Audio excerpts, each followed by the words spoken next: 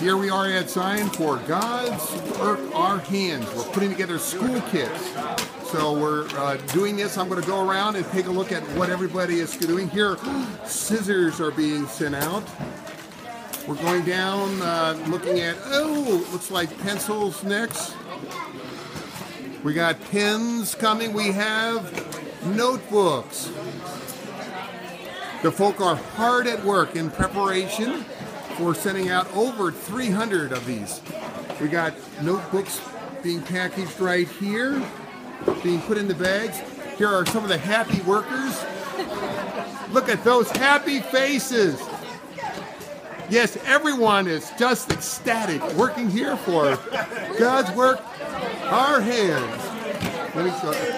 Oh, they're marking up crayon boxes. So a great day here at Zion. Grateful for all the people who turned out and making this happen.